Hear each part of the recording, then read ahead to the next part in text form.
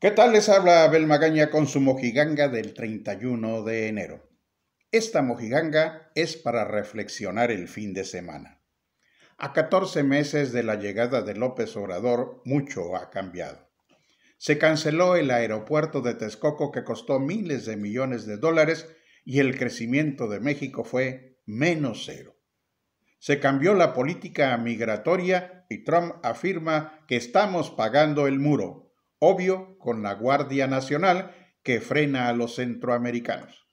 Se aplica la tesis de abrazos, no balazos, y salen por la puerta grande los pocos narcos que han sido detenidos.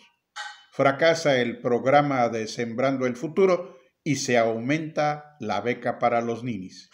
Se sataniza a las farmacéuticas y hay escasez de medicinas por falta de previsión se obstaculiza a periodistas críticos y ahora quieren una ley mordaza. Y para rematar, Veracruz promueve la tesis evangelista para que las mujeres no salgan de noche y no se vistan provocativamente para evitar que los hombres las violen. Ahora sí, ya nos cargó el payaso. Nos vemos en la próxima mojiganga que pueden consultar en el número 1 Veranews y Capitolio Times. Mientras Abel Magaña les desea, como siempre, que pasen el mejor de los días y una espléndida noche.